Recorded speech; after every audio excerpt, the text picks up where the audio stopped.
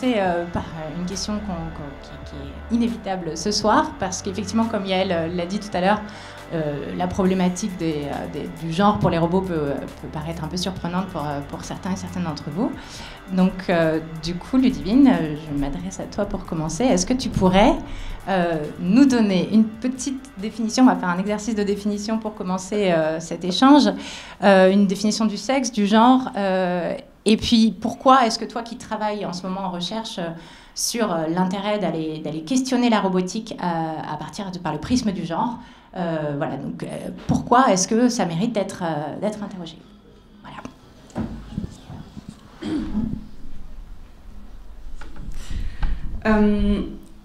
alors, le titre le, le, dit bien, les robots n'ont pas de sexe. C'est une réponse qu'on m'a posée quand, enfin, qu'on m'a proposé plutôt.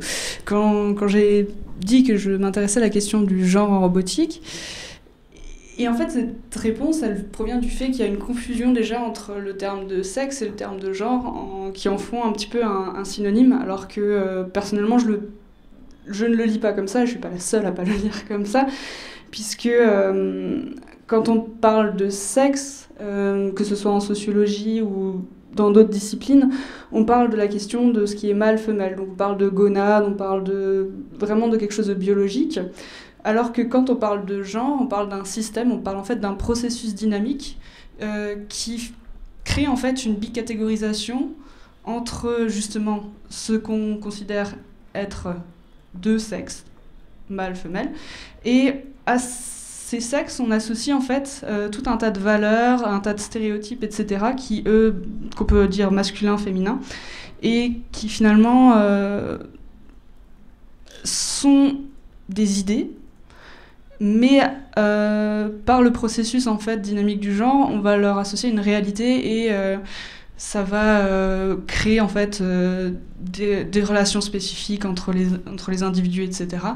Et et c'est en entendant le genre de cette manière-là qu'on peut l'interroger euh, chez les robots, puisque effectivement on ne peut pas dire que les robots ont un sexe au sens biologique du terme, mais il leur arrive, euh, enfin ils rentrent dans la, on peut les lire à travers l'analyse euh, et le prisme du genre, puisque euh, c'est pas forcément le cas de manière très voyante chez tous les robots, mais il y a une reproduction en fait d'un certain nombre de stéréotypes euh, chez certains robots.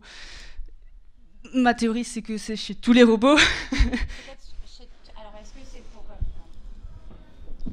Est-ce que c'est peut-être pour les robots humanoïdes en particulier? Est-ce que tu pourrais nous essayer de nous peut-être nous donner à voir de manière euh, en donnant peut-être des exemples? Comment est-ce que euh, dans des robots qui ont des formes euh, humanoïdes ou pas, enfin à, toi de, nous dire un petit peu comment est-ce que tu appréhendes les choses. Comment est-ce qu'on peut voir des choses qui vont être genrées en fait dans un robot?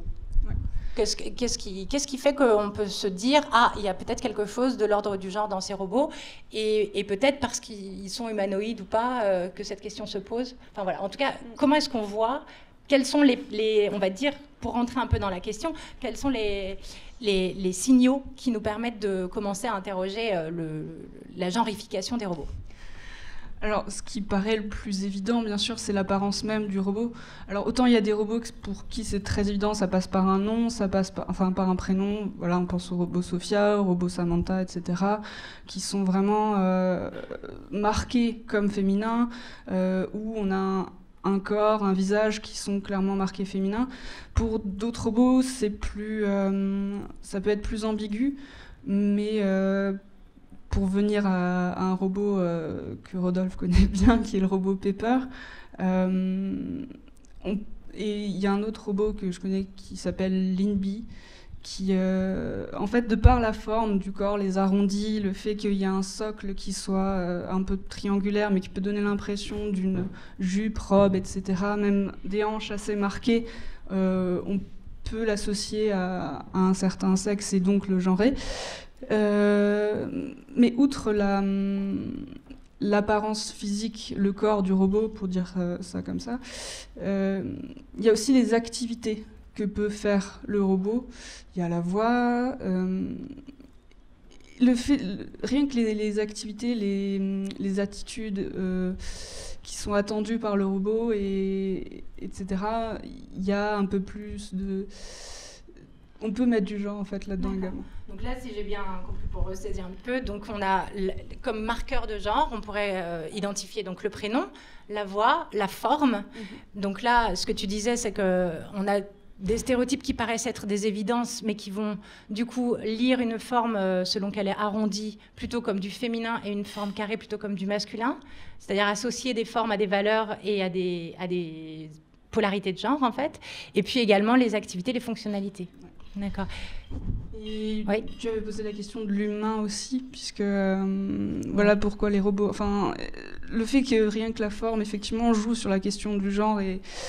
Euh, ça passe effectivement plus facilement sur un robot humanoïde que sur un robot comme le, petit Aibo, qui était le, petit chien qui était développé par Sony, qui ne font mhm. plus maintenant. Ils le refont. Ils le refont? Oui, ok. Une chienne Ah. ah si même les, la Alors maintenant, du genre, c'est les chiens robots. de genrer les robots euh, chiens aussi. Mais oui, effectivement, enfin, le, rien que la forme humanoïde va aussi euh, nous pousser, peut-être inconsciemment, en fait, à genrer le robot. D'accord. Alors du coup, Rodolphe, Rodolphe, euh, euh, comment est-ce que tu réagis à, ce qui vient de se dire là, en particulier, donc toi qui, qui, travaille dans la robotique humanoïde, et avec euh, bah, des créatures que tu vas un petit peu nous, décrire plus précisément. Et quelle est, comment est-ce que tu réagis par rapport à cette question de le fait que la robotique humanoïde soit lue à travers des prismes genrés, et puis peut-être revenir sur la question de Pepper après.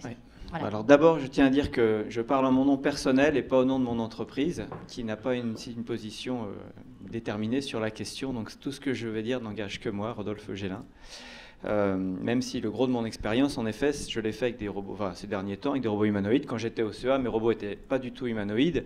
Et quand vous avez un robot à chenille, euh, vous ne posez pas la question de savoir si c'est un garçon ou une fille, ou pas plus qu'une voiture. Alors c'est vrai qu'une voiture, ou si elle est du genre euh, masculin ou féminin, ou une voiture, pareil, voilà, pas plus qu'une voiture ou pas moins. On peut aussi, euh, j'imagine que tu as réfléchi à ça, les gens projettent des... Non? Bon, et, voilà, le robot aspirateur, moi j'ai jamais imaginé voilà, de lui donner un genre. donc, en revanche, euh, nos robots, c'est vrai, comme il y a une forme humanoïde, très vite, on s'est calé sur une forme humanoïde, et quand vous voyez un humain, euh, vous posez la question inconsciemment, euh, est-ce que c'est un garçon ou est-ce que c'est une fille Est-ce que parfois c'est compliqué de savoir Et donc nous, la question s'est pas vraiment posée avec nos robots. En fait, on, a, le, premier qui est là, qui est Nao, a été conçu sans, vraiment que la question se pose, est-ce qu'on va lui donner une, apparence de garçon ou une apparence de fille En revanche, on voulait qu'il soit petit. Et puis c'est vrai que l'imaginaire de Bruno Maisonnier, le fondateur, était très science-fiction, et que dans la science-fiction, euh, les robots, ils sont, euh, voilà, ils sont, ils sont, baraqués, ils sont, voilà, on a reproduit des biceps. Et c'est vrai qu'on peut pas nier que euh, y a, plutôt des, attributs du genre garçon qui sont sur ce petit bonhomme, même si avec sa taille, c'est un peu bizarre de voir un, objet si petit, donc comme, un peu comme un enfant, mais en revanche avec une musculature qui serait celle d'Arnold Schwarzenegger, donc c'est assez, assez curieux. Et quant à Pepper, donc vous voyez tous l'allure qu'a Pepper, vous, vous imaginez un peu ouais. Juste, pardon, ah. juste pour rester sur là un dernier petit instant. Euh, donc tu disais que ça il n'a pas été conçu avec euh, un questionnement sur le genre, mais effectivement qu'il y a des signes qui ont transparu à partir de l'imaginaire euh, de Bruno Maisonnier. On, voit un peu euh, comment est-ce qu'il a pu se genrer, avec les biceps notamment. Ce que, par contre, pour ce qui est de sa voix, est-ce que tu peux nous en parler? Est-ce que là, ça a été un choix volontaire ou pas de le genrer, de pas le genrer? Qu'est-ce qui s'est... Alors la voix a été... alors encore une fois, la voix, vous l'avez entendu, elle n'est pas très genrée mais c'est plus parce qu'on voulait faire une voix d'enfant adaptée à la taille. Comme le robot est petit, on voulait pas une voix d'adulte. Euh, en plus, comme c'est un robot qui va être un peu pâteau, euh, tout ça passe mieux si euh, voilà s'il a une voix d'enfant, un comportement d'enfant, on comprendra mieux qu'il ne comprend pas tout ce qu'on lui dit, qu'il n'est pas capable de faire tout ce qu'on lui demande de faire. Donc on l'a plutôt, c'est plus que dans le genre, c'est dans l'âge qu'on l'a ciblé. On l'a ciblé vers le, petit garçon. Alors il a la taille d'un nourrisson, mais on lui prête un comportement de quand même euh, un peu plus, je pense. ne serait-ce que parce qu'il parle et il marche. Mais voilà, donc la voix, il se trouve qu'elle n'est pas genrée, mais plus parce que bah, quand les enfants sont petits, les voix de garçons et de filles sont euh, assez similaires. Donc je dirais qu'encore une fois, c'est pas pour éviter ça, mais plus pour le, le caler en âge qu'on lui a donné cette voix-là. Ça n'a pas été un choix volontaire Vis-à-vis du genre, non. Voilà, vis-à-vis de l'âge, oui. Et après, il y a aussi la particularité d'une voix qui doit être euh, humaine, parce que c'est un robot humanoïde, mais pas trop. Euh, justement pour pas tromper, pour rappeler qu'on est devant une machine et donc elle a, il a une voix, un petit timbre un petit peu métallique. Donc on a choisi, c'est vraiment c'est très très long de choisir une voix de, robot. Euh, enfin bon, c'est pas des choses qui arrivent tous les jours, mais c'est un c'est un c'est un c'est une question en soi. il y a ce qu'on appelle des, designers audio, donc des gens qui réfléchissent, qui proposent. Et il y a voilà, ça, n'est pas, tiens, j'ai trouvé ça sur Internet, on va mettre cette synthèse vocale là. Il y a, on, a, on a demandé des tas et des tas. Et dans chaque langue, en plus, on doit rechoisir la voix euh, pour qu'elle elle donne bien ce, rendement-là. Euh, voilà, je m'arrête là. pour Pepper, tu voulais dire euh, au pro à propos de Pepper S'il y en a qui ne connaissent pas Pepper, donc Pepper est plus grande et, enfin, elle est plus grande, voilà. Moi, je me suis trahi. Euh, donc Pepper est un robot humanoïde un peu plus grand, d'un mètre vingt, euh, avec une, tablette sur la poitrine, une tête toute ronde. On l'a vu dans la pub Renault, si vous l'avez, euh, si vous regardez la télé. Et puis, voilà, c'est un, un, robot assez qu'on a pas mal dont on a pas mal parlé. Euh, et, en effet, comme disait Ludivine, elle a des roues, et donc sous les roues, les roues sont cachées sous une coque en plastique qui donne un peu une allure de jupe. Et puis il y a une rotation au niveau du, bassin euh, qui, est une espèce de boule, et donc on a vraiment l'impression, et, son torse est beaucoup moins marqué, il n'y a pas de, pectoraux, en plus on ne les voit pas parce qu'il y a la, tablette. Euh, et, donc elle a des, hanches assez marquées, assez, fines, et on, peut, alors on, a vite fait de projeter dessus un genre féminin. Cela dit, alors nous historiquement, donc euh, toute l'histoire de, Pepper, donc moi, comme ça a été dit, je m'occupais du projet Roméo quand, euh, quand on a commencé le projet Pepper. Donc Nao dit je suis, euh, je suis un robot de, de... Non, c'est pas lui qui l'a dit. c'est quand voilà, Yael a présenté le projet Roméo, c'était de faire un robot humanoïde de grande taille pour aider les personnes âgées. Parce que quand on a eu l'idée d'aider les personnes âgées, c'est sûr qu'un Nao, il était trop petit. Donc on a voulu faire un robot plus grand qu'on a appelé Roméo pour une raison que je ne sais pas, je n'étais pas là à ce moment-là, on a des explications. Euh. Mais voilà, donc le nom Roméo était déjà beaucoup plus marqué euh, comme un nom de, garçon. Et puis, euh, bon, il, était. donc il faisait 1m40, il fait 1m40, et lui, on, bon, c'est un peu plus, hein, il est un peu plus genré masculin. Et à ce moment-là, la société SoftBank nous a contactés en disant fabriquez-nous un robot pour accueillir des personnes dans les magasins. SoftBank est une énorme entreprise japonaise de, télécom et ils ont des boutiques comme nous on a des boutiques Orange, ils ont des boutiques dans lesquelles ils voulaient, euh, pour épater leurs clients, avoir des robots pour faire l'accueil.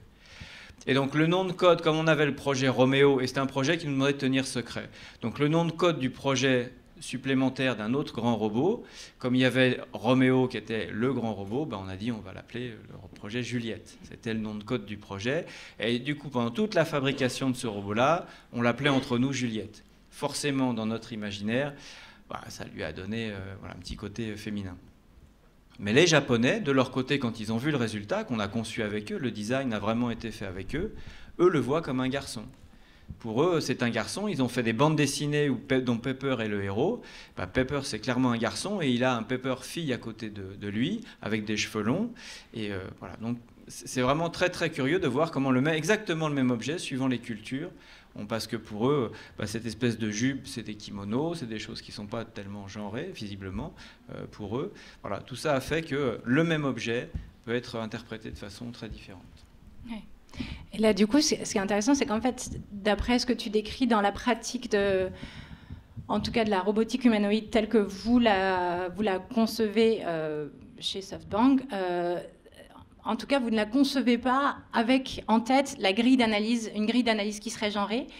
Alors après, euh, visiblement, donc ça produit des effets genrés. Donc ce que tu décrivais tout à l'heure, c'est-à-dire que les créateurs n'avaient pas nécessairement conçu euh, un robot masculin, mais il se trouve que les biceps sont là.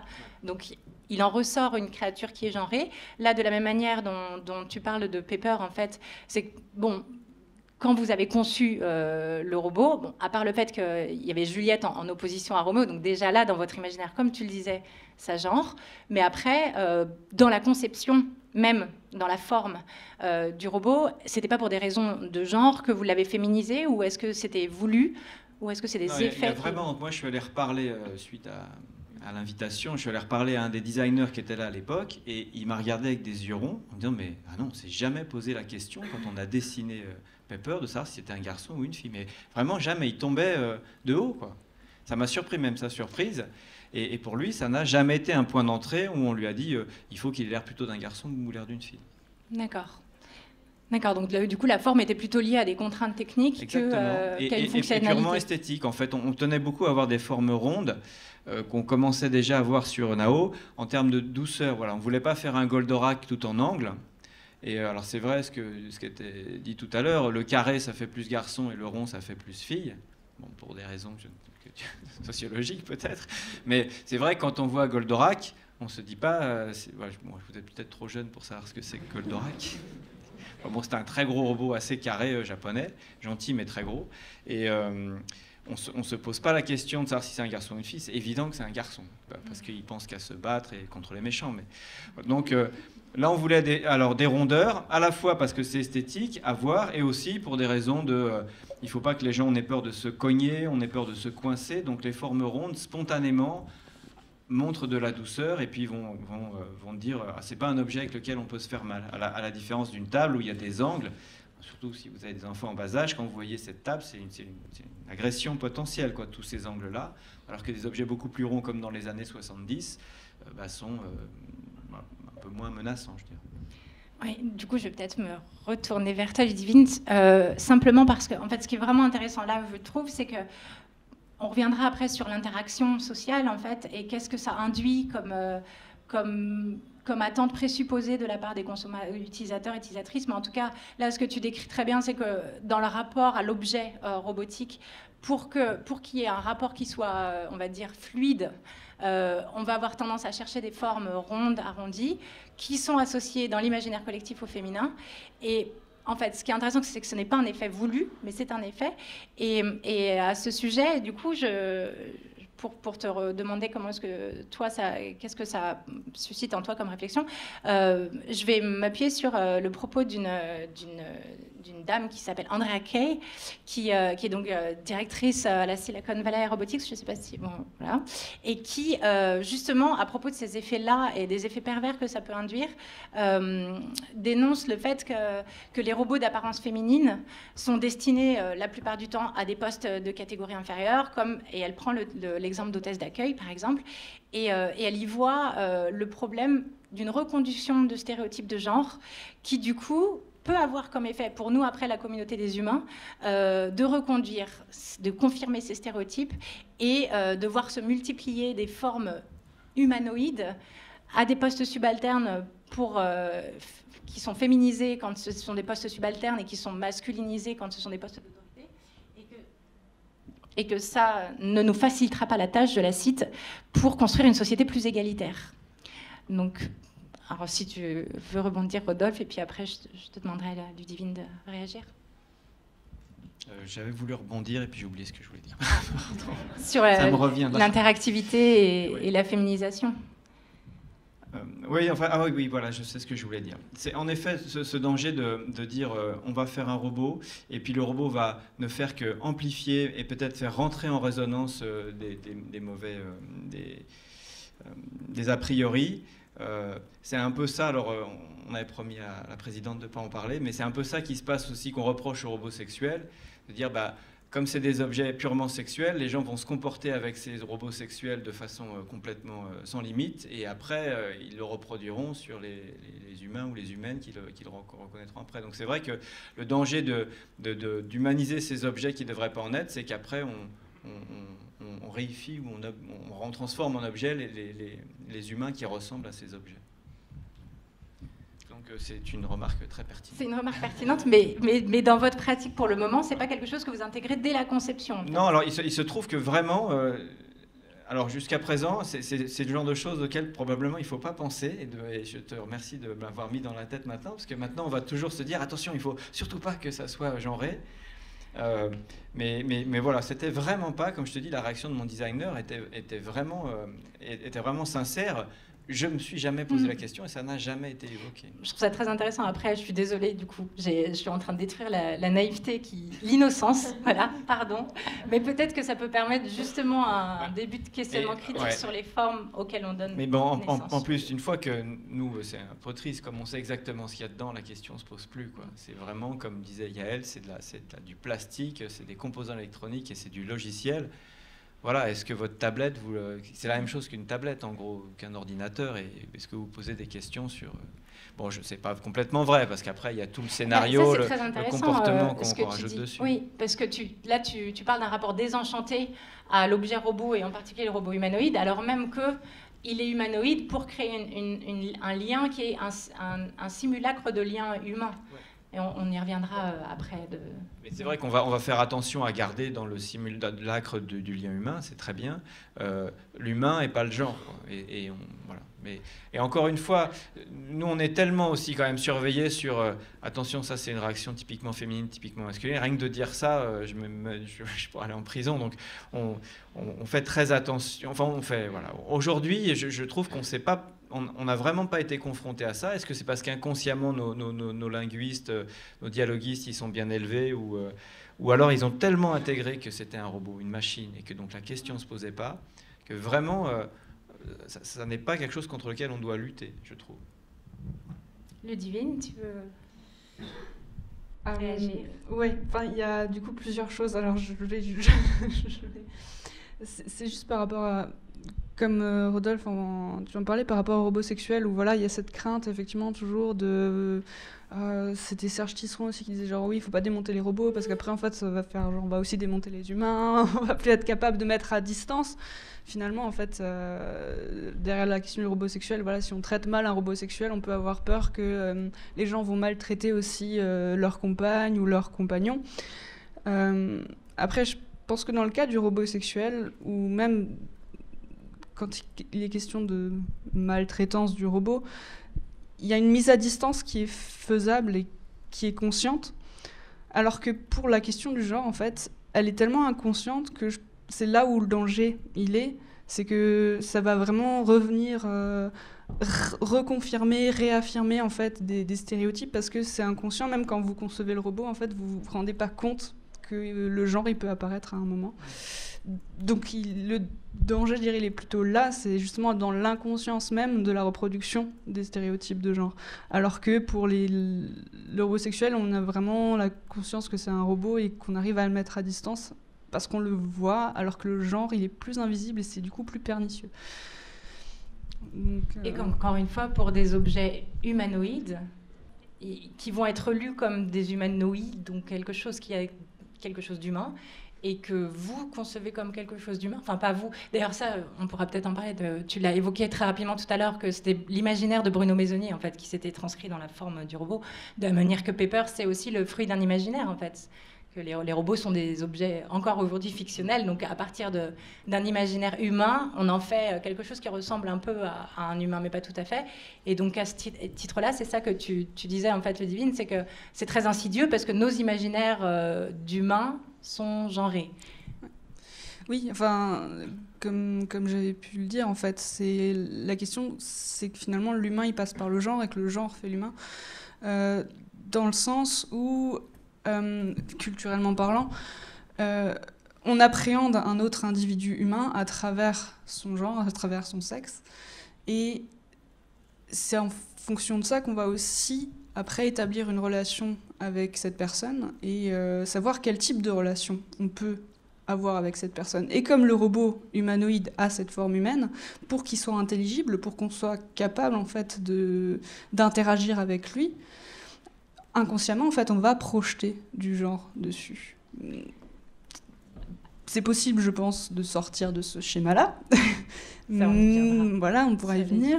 Mais euh, actuellement, dans les sociétés dans lesquelles on vit, on, est tellement imprégné constamment par ce, système de genre, ce processus de genre, qu'on est incapable de d'appréhender un être humanoïde en dehors de ce système de genre. Alors, sur ce point-là très particulier, donc, et de quel type de relation, du coup, euh, il s'agit avec ces robots humanoïdes.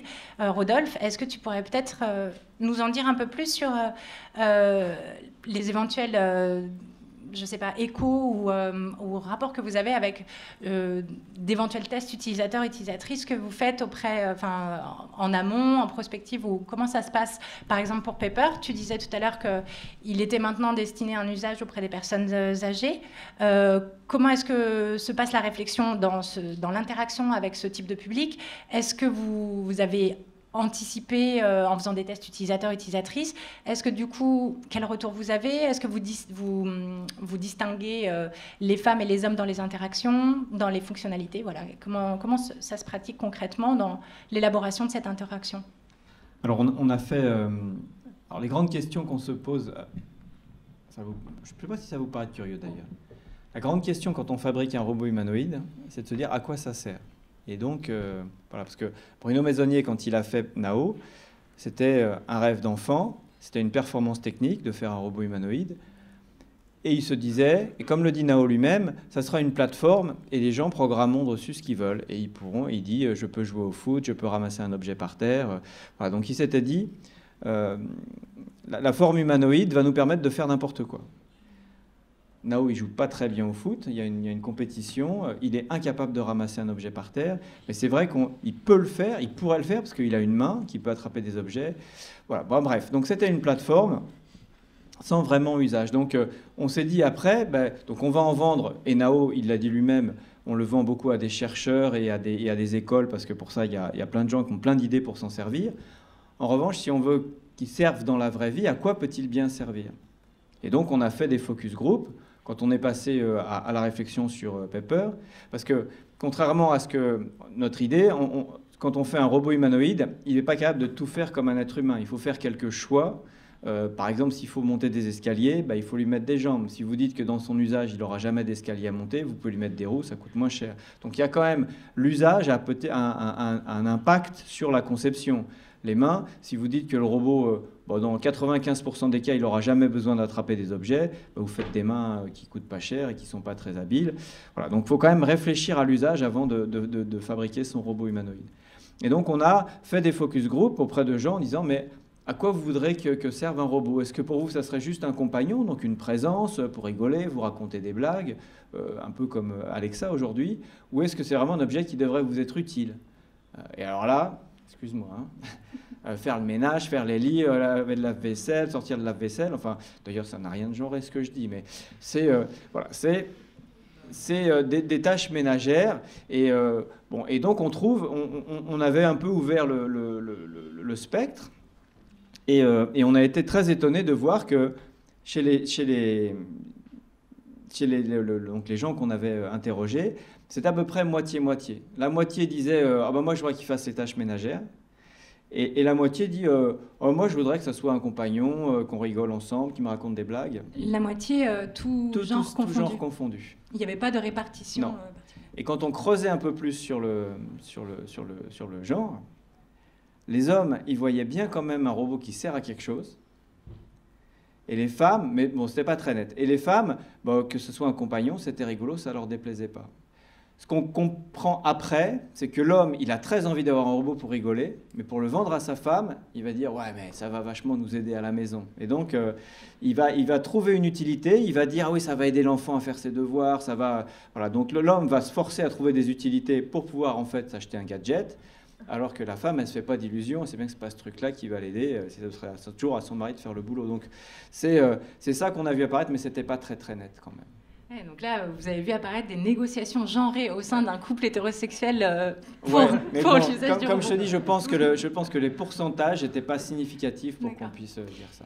Et, et, pour ce qui est du rapport au robot, est-ce qu'il y avait des demandes euh, je ne sais pas, vis-à-vis de son genre, qu'il soit plutôt féminin, masculin, qu'il ait une voix de femme, d'homme. Euh, quels étaient les critères euh, pour juger euh, de l'agréabilité de quand, la on, quand on a fait des, tests, alors après avec des personnes âgées, donc on a mis Pepper dans une chambre d'hôpital avec des personnes âgées. Souvent les personnes âgées sont des femmes parce que elles vivent plus longtemps que les hommes. donc je pense que dans notre échantillon, il y avait un peu plus de femmes que d'hommes. Et à la fin, on leur dit, pour vous, est-ce que le robot était un homme ou une femme? Est-ce que vous préfériez que ce soit un homme ou une femme? Et donc, ce n'est pas significatif du tout. Pour eux, en gros, là où il y a le plus de réponses, c'est le genre, ça n'a pas d'importance. Donc, voilà, de ce point de vue-là, ils, ont bien compris que c'était une machine, ils ont bien compris les services que ça pourrait leur apporter. Et pour le fait que ça soit un, masculin ou féminin, voilà, ils voyaient bien que ce n'était pas le problème. C'était pas du tout. Euh, je pensais important pour eux que l'objet soit beau, parce que c'est un objet qui va les aider dans leur quotidien, et donc c'est mieux que ça soit beau. Euh, quand je travaillais pour l'aide aux personnes handicapées, j'avais fait des, fauteuils roulants autonomes qui se baladaient, etc. Et, les personnes handicapées m'ont dit, mais moi, je m'en moque d'avoir un fauteuil roulant qui dit papa-maman. Je voudrais un fauteuil roulant qui soit beau et qui ait une batterie qui dure longtemps. Et que quand les gens me voient dans mon fauteuil roulant, ils disent pas Oh, le pauvre, il est dans un fauteuil roulant. Mais ils disent Oh, elle a trop de chance, le fauteuil roulant. Il a l'air d'aller super vite et tout. Voilà. Et le robot d'aide aux personnes âgées, eh ben, c'est la différence. Et quand les gens le voient, un robot dans, dans, la chambre de votre grand-mère, eh ben, on ne dit pas Oh, la pauvre grand-mère, elle a besoin d'un robot pour l'aider. On dit Oh, trop de chance, elle a un robot. Et donc, c'est pour ça que la forme du robot beaucoup, euh, bien au-delà de ta question de genre, est, super importante. Je trouve ça très intéressant. Comment est-ce que le robot euh, de compagnie, humanoïde ou non d'ailleurs, mais euh, peut changer, avoir comme effet de changer le regard sur une personne vulnérabilisée. Ça, voilà, parenthèse, pardon, pas directement lié au genre. par contre, là, vous, tu, m'as tendu du coup une perche, mais alors d'accord, il faut qu'il soit beau, mais dans ces cas-là, pourquoi devrait-il être humanoïde en fait pour la qualité de la relation, sachant qu'il bah, y a des robots thérapeutiques qui sont pas du tout humanoïdes. Je pense à Paro, le petit phoque, c'est un petit phoque euh, qui est destiné euh, essentiellement aux personnes malades. Personnes âgées, oui. Voilà, personnes âgées. Et donc, il se présente euh, sous la forme d'une peluche, quoi. Enfin, il a vraiment les allures d'une peluche et, on a très envie de le caresser. Mais, mais du coup, enfin, pourquoi dans ces cas-là? Alors, j'ai bien compris l'intérêt d'avoir de, un objet qui, qui donne envie, en fait. mais, mais pourquoi humanoïde alors? Parce qu'il euh, il y avait une niche dans laquelle personne s'était engouffré. Et encore une fois, euh, moi je pense que pour Bruno c'était beaucoup du défi technique. Après, on rationalise, donc je vais répondre directement à la question euh, de façon rationnelle. Voilà, donc les réponses étaient, je pense, au début, c'était assez irrationnel, c'était ça n'existe pas, et les gens seront très contents d'en avoir un. Waouh, d'avoir un robot qui Ensuite, nous, après, on rationalise, on fait des études avec des sociologues qui disent que si c'est un robot de compagnie avec lequel les gens vont interagir, aujourd'hui, dans l'état actuel de notre rapport à la technologie, surtout une personne âgée, elle va pas parler à une table, elle va pas parler à une galette avec des roulettes, elle va pas parler à son aspirateur. Et donc pour l'entraîner à parler avec un objet, c'est quand même mieux qu'il y ait euh, des attributs euh, de l'écoute. Et notamment, euh, on s'est aperçu, mais rien que sur des robots qui n'étaient pas du tout humanoïdes, quand vous, alors c'est une boîte, ça peut être une boîte qui a cette taille-là avec des chenilles, donc les gens, ils regardent ça comme un objet, et dès que vous mettez une tête avec des yeux, tout de suite, la, la relation change. Donc euh, c'est ça qu'on cherche. On comprend tout de suite, quand on voit un objet comme ça, qu'il est fait pour interagir. C'est une mhm. espèce d'affordance, c'est-à-dire en le voyant, on comprend pourquoi il est fait. Et quand les gens voient nos robots, ils viennent tout de suite et ils font Salut robot Alors il répond rarement, mais, euh, mais c'est spontané. Alors que je vous apporterai un robot euh, voilà, qui est une boîte de conserve avec des chenilles, vous n'iriez pas lui dire salut robot. Voilà, il n'y a pas de tête, il n'y a pas d'yeux, vous ne sauriez pas comment lui parler. Donc c'est pour créer ce contact spontané, surtout avec des populations qui, a priori, ne sont pas fanats d'interagir de, avec des objets technologiques. Évidemment, ça, je pense que ça sera pour être remis en question dans 20, 30 ans, quand on aura tous eu l'habitude de parler à Alexa, qu'on aura des objets connectés partout, qu'on pourra dire au mur euh, allume la lumière, ferme les fenêtres. Voilà, on s'habituera à faire ça. Dans 2001 Odyssée de l'espace, le gars il parle à son intelligence artificielle qui est répartie partout sur le vaisseau, à part une petite lumière rouge, elle n'est plus du tout incarnée. On pense qu'aujourd'hui, pour une espèce d'acceptabilité, l'incarnation dans un objet qui, avec lequel on sent qu'on peut communiquer, c'était euh, le bon choix. Plus après, bon, on se dit que la locomotion, c'est quand même bien. Alors les jambes, c'est quand il y a des escaliers, c'est indispensable. Et puis avoir des bras et des mains, euh, bon, bah, on se dit qu'un jour ou d'autre, le robot, il va nous rendre quelques petits services quand même. Donc, c'est bien qu'il ait des bras et des mains. Oui, que c'est adapté au monde humain. Quoi. Ouais. Et, pour reparler de Serge Tisseron, donc, qui a beaucoup euh, travaillé sur les robots, quand je discutais avec lui, je lui disais, mais pour toi, dans un robot humanoïde, c'est quoi le plus important pour qu'il ait l'air humain, humanoïde? Et moi, je m'attendais à ce qu'il me dise les yeux, euh, les oreilles. Et il m'a dit, c'est les mains. Et il a ajouté, parce que dans humain, il y a main. J'ai trouvé ça assez spécieux comme argument. C'était donc la phrase choc de ce débat. Mais, cela dit, c'est vrai que voilà, c'est comme les, c'est comme ces, les, les, les, petits singes qui ont des mains, c'est spectaculaire. Quoi. Tout de suite, ça nous rapproche. Euh, alors qu'il y a des tas d'animaux qui ont des, des, têtes comme nous, même si ce n'est pas tout à fait les mêmes le fait que cet animal ait des, mains, ça, nous, ça, nous, en rapproche beaucoup. Donc c'est vrai que Pepper et Nao ont des mains qui servent quasiment à rien, mais ça participe beaucoup à leur, à leur, à leur humanité. Les gens ont envie de leur serrer la main. Et juste pour finir, du coup, sur ce, ce rapport utilisateur-utilisatrice donc, que tu nous as décrit comme... Euh, alors, en tout cas, du point de vue des attentes, en termes de compagnie, de robots compagnons ou compagnes. Euh, de ce que vous avez eu d'expérience, en tout cas, il n'y avait pas spécialement d'attente genrée.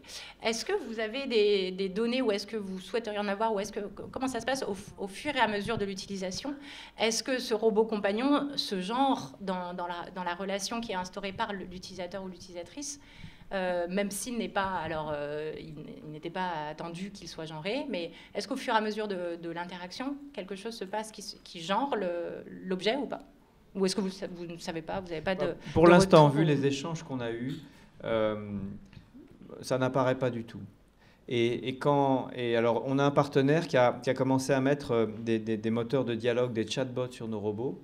et donc, ce qui fait qu'on va avoir de très longues conversations avec un robot, mais c'est des conversations comme vous avez avec Siri quand vous discutez avec Siri, vous vous demandez pas. Alors Siri, il a une voix assez masculine. Et j'allais revenir d'ailleurs. Pepper est genré euh, vocalement. Bah, sa voix, moi, je trouve qu'elle est un peu comme celle de Nao. Elle est un peu androgyne. Elle est un peu euh, une voix d'adolescent euh, qui n'a pas encore mué. Donc, elle est, normalement, elle est. Enfin, nous, on a fait en sorte qu'elle soit pas trop genrée. C'était volontaire de votre part ah qu'elle ne soit pas trop identifiable à, un côté ou à un. Encore une fois, on voulait garder cette voix un peu de machine. Mm et, donc euh, non, non, euh, non genré. Ah, c'est très intéressant, oui. Et donc on n'a pas vu d'évolution en disant les gens, euh, ah, bah, à terme, pour avoir un robot dans ma chambre, si je suis une femme, je préférais que ce soit une femme parce que je serais moins gêné. Ou voilà. voilà. Donc ça, ça n'apparaît pas du tout. Les gens ont bien compris que c'était une machine et c'est même ça qui est intéressant pour eux. C'est comme c'est une machine, il n'y a pas de problème de, de, pudeur. Voilà, elles ont bien compris que c'était une machine, on pouvait se mettre tout nu devant une machine, on pouvait dire des gros mots, on pouvait péter devant une machine, elle ne va pas nous juger. Donc euh, voilà, c'est aussi ça qui fait que euh, c'est important que on, reste, la garde bien dans l'idée que c'est une machine. D'accord, donc on est là à, t'écouter, on a, on a vraiment l'impression que vous essayez de rester sur cette ligne de créer un lien social avec, entre un humain et un objet, aussi euh, élaboré soit-il, euh, qui ressemble à, une, un humain, donc quelque chose comme un lien humain, mais qui, qui reste en fait. Euh, enfin, c'est très, c'est très. En fait, on est vraiment sur une ligne très ténue d'un lien avec un objet qui, euh, du coup, permettrait qu'il ne soit pas genré, en fait. On aurait un, un attachement, parce que j'imagine aussi qu'il y a peut-être une forme d'attachement qui se crée au bout d'un moment, mais qui ne serait pas genré. Oui, on est, alors voilà, alors peut-être qu'on est des précurseurs, on n'est pas obligé de s'attacher aux gens en fonction de leur genre. Et donc, on peut s'attacher au robot euh, même s'il n'a pas de, genre. En tout cas, c'est le pari que vous faites. Oui, oui. Et nous, on veut qu'on s'attache. comment les gens vont s'attacher au robot? Déjà, c'est un truc que tu avais commencé à dire, les gens, ils s'attachent à n'importe quoi. On ne peut pas contrôler la raison, on ne peut pas contrôler l'attachement des gens à, n'importe quoi. Voilà. Notre, certains, c'est leur montre, des fois, c'est son téléphone, sa voiture. Voilà. C'est difficile de lutter contre les, certaines personnes. Elles ont besoin de s'attacher à des objets. Euh, donc, donc, on lutte un petit peu en donnant justement, en faisant attention à ce que euh, il ait une voix métallique, etc. Euh, mais voilà, donc en effet, on cherche à avoir un attachement, mais à le maîtriser. Et, c'est un peu le problème qu'on a avec l'émotion. Je ne sais pas si vous en aviez parlé lors du débat précédent. C'est vrai qu'on veut que nos robots ils ressentent un peu les, enfin, ils sentent les émotions que vous exprimez, et lui-même va en exprimer un peu. On ne veut pas faire croire que le robot a des émotions, mais il faut quand même montrer qu'il est réactif à l'émotion parce que ça fait partie de notre personnalité. Et si on veut qu'il soit attentif à nous, il faut qu'il fasse attention à notre attention. Oui, donc contrairement à d'autres euh, concurrents sur le marché, vous n'essayez pas du tout ni de jouer avec l'illusion de l'humanité, ni de jouer avec euh, l'illusion des, attributs, de, par exemple, émotionnels euh, d'un être humain. On, fait très attention à ne pas en mettre trop. Là, pour le coup, ça, c'est vraiment une ligne de conduite que, que vous vous imposez. Alors, et encore une fois, alors, encore une fois, je parle pour moi et je, et je parle pour l'expérience qu'on a ici en Europe, au Japon. voilà, ils ont beaucoup communiqué sur le fait que Pepper était un robot émotionnel, qui ressent des émotions. Voilà. En fait, il simule, voilà. En fait, on simule le fait qu'il va ressentir des émotions. Et nous, c'est vraiment un sujet sur lequel. Euh, c'est pour ça que je dis que je parle vraiment en mon nom propre parce que la ligne de l'entreprise n'est pas très claire. Enfin, n'est pas très claire là-dessus. Oui, et puis distincte en fonction peut-être des cultures ou des marchés. Des cultures et en plus, suivant les cultures, on va sans doute pas faire des mêmes comportements euh, sur les robots. Et alors, à propos de Pepper euh, robot émotionnel, du coup, au Japon, euh, j'ai cru comprendre, c'est Ludivine qui m'a indiqué ça, qu'il y avait eu des, des, indications spécifiques. Et là, donc, je vais passer au côté un peu plus, euh, on va dire, l'aspect sexuel de notre débat. j'ai cru comprendre que Pepper avait fait l'objet d'indications explicites, alors de la part de SoftBank, il me semble, pour s'assurer, euh, comme tu le disais tout à l'heure, on s'attache à, tout et, à n'importe quoi en tant qu'humain, et, notre sexualité est aussi très très plastique. Et donc euh, le robot Pepper, vous voyez pas forcément tous euh, et toutes de quoi il a l'air, mais il il n'apparaît pas comme un robot sexuel, c'est évident. Et donc il y a eu des indications explicites mentionnant le fait qu'il n'était pas destiné à un usage sexuel. Donc du coup, ah, j'ai bien compris que, les, robots sur lesquels tu travailles ne, sont pas euh, conçus pour, euh, pour des rapports sexuels, pour être sexualisés, même pas genrés, mais euh, encore moins sexualisés. Mais du coup, en particulier cet événement-là m'invite à te dire, ben, vous êtes quand même sur une ligne très ténue. Est-ce que là, pour le coup, au niveau des fonctionnalités et des usages pas prévus de, ces objets humanoïdes, euh, comment vous pensez la limite, euh, sachant qu'au Japon, par exemple, il y a eu besoin de formuler cette indication D'ailleurs, qui a fait l'objet de réactions un peu. Euh, enfin, on, s'en est un peu amusé. Mais... Ouais. C'est-à-dire que surtout, on ne voudrait pas que les gens se blessent. Se blessent. Se blessent ah. en faisant des choses avec nos robots. Donc, on a un vrai problème de sécurité. Donc, voilà, ça fait partie des, mises en garde. voilà, il ne faut pas se jeter le robot sur les pieds, il ne faut pas faire de bêtises avec. donc, c'est et, c'est vrai que le, Japon a une grande culture de, de, sextoy et d'objets comme ça, donc je, pense que c'était assez naturel au Japon d'évoquer euh, le sujet. D'accord, mais hum, dans ces cas-là, est-ce que, est que vous ne vous posez pas la question, vous, euh, en interne, euh, de, vu la, vu la, vu l'ampleur du marché euh, à ce niveau-là et vu le développement d'une robotique de compagnie, y compris depuis le marché de, la robotique sexuelle? Donc du coup, là, j'ai deux questions en une. Est-ce que d'une part, vous pensez que ça ne va pas vous arriver à un moment donné de, vous devoir vous poser la question des usages sexualisés possibles de ces objets, bon peut-être pas de Nao, mais, euh, mais de Pépère et des suivants. et par ailleurs, est-ce que vous ne pensez pas qu'on vient progressivement à, à une question qui va être de plus en plus pressante, euh, venant notamment de la part euh, de concurrents qui développent des, robots sexuels de plus en plus élaborés? Et là, récemment, euh, qu'on développé des IA qui songent à vraiment constituer des, ce qu'ils appellent maintenant des, robots non seulement sexuels, mais compagnons et compagnes. Donc pour l'instant, nous, c'est pas du tout une cible, à ma connaissance. Euh, encore une fois, je connais la position officielle. En tout cas, moi, en, tout cas, en, tant que chargé de la recherche, on m'a jamais positionné sur ce sujet-là. On a des tas d'autres euh, sujets à régler avant. Euh, et probablement on passe à côté d'un marché énorme, c'est vrai, mais voilà, bah, il y, y, a du travail pour tout le monde. Et, et, si des concurrents veulent s'occuper de ça, très bien. Voilà, de, de la même façon qu'il y a des gens qui font des voitures de sport que seuls des gens très très riches peuvent s'acheter et eh ben, euh, il y a d'autres constructeurs qui décident de ne pas aller sur ce créneau-là, alors qu'on on gagne, on fait sûrement plus de marge en vendant des voitures de sport qu'en vendant des Dacia. Donc peut-être euh, euh, l'entreprise qui vendra le premier des beaux robots sexuels, il, deviendra immensément riche. Voilà, c'est leur positionnement, et nous, c'est pas le nôtre. D'accord, vous ne craignez pas d'être détrôné par ce qui est en train de surgir comme éventuelle forme de compagnie. Et, alors, c'est vrai qu'on peut être détrôné par la bande, si je puis dire, dans le sujet. C'est à la fois, ça peut être que ces robots sexuels, petit à petit, deviennent meilleurs que nos comme robots compagnons que les nôtres. Bon, mais vu que c'est quand même, ils ont des tas de, de, sujets annexes, liés à leur application, à leur usage, je pense qu'ils vont devoir régler avant. Et après, alors ça dépend de la taille de l'entreprise, mais ils, auront à, régler tous les problèmes que nous, on aura commencé à régler pendant qu'eux s'occupaient de la sexualité des robots. Mais c'est vrai que c'est possiblement euh, l'axe par lequel euh, voilà, en effet, les, vrais robots compagnons vont émerger parce qu'ils auront plus d'argent que nous, parce qu'ils auront vendu plus, donc ils mettront plus de recherches sur les fonctions non sexuelles, peut-être. Un autre, une autre menace qu'on voit, bah, c'est Alexa. Demain, Alexa, euh, on va lui mettre des roues. Après-demain, ils lui mettront des bras. Et puis peut-être que ce seront eux qui vendront des robots de compagnie avant nous. Donc en effet, c'est la compétition. Donc du coup, Ludivine, est-ce que tu... comment est-ce que, par rapport à tout ce qui s'est dit là, est-ce qu'on euh, on n'a pas là peut-être l'opportunité de concevoir justement une robotique humanoïde et interactive qui puisse être possiblement encore, pour le cas de, ces robots-là et de cette euh, façon de concevoir la robotique-là, désencombrée du genre et, dans ces cas-là, à, quelles conditions ce serait euh, D'autant plus si on la compare, comme je le disais tout à l'heure, à, ce marché en plein essor, alors qu'il n'est pas encore du tout stabilisé, de la robotique sexuelle qui, pour le coup, elle, est excessivement genrée.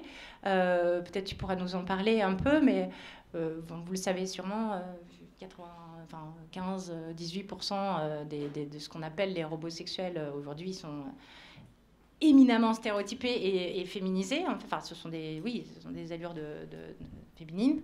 Il y a un, Henry qui est, qui est là, là qui, a été lancé en 2018 qui est soi-disant le premier robot, robot sexuel masculin, dont on se demande si, si c'est un prétexte, d'ailleurs, qui s'adresse aussi aux, clients masculins. Bref, mais donc du coup, est-ce que... oui, oui.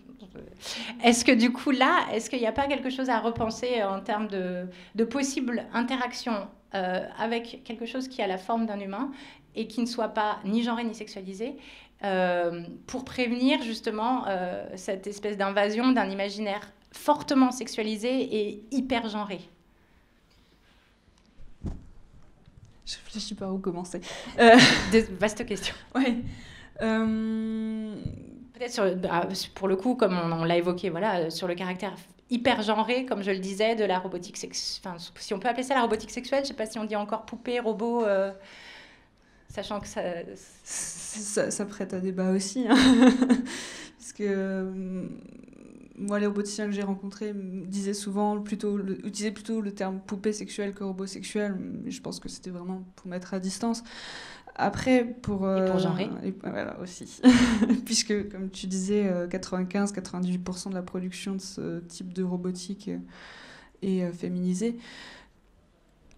Ce genre de, de robot sexuel, en fait, c'est ça rentre effectivement dans, dans un cadre hyper, euh, hyper hétéronormé où voilà, la sexualité elle est hétérosexuelle, c'est à destination d'un public euh, masculin hétérosexuel qui, euh, où voilà, on va reproduire en fait des stéréotypes on peut parler on peut parler d'hypersexualisation en fait en ce qui concerne ce type de robotique mais ce que je trouve intéressant c'est encore cet après-midi je regardais une émission d'Arte où il y avait Agnès Giard qui était intervenue et qui disait que même les vendeurs de robots sexuels disent que ce ne sont pas de bons robots sexuels. Enfin, c'est pas un bon objet sexuel, c'est pas un bon sex toys.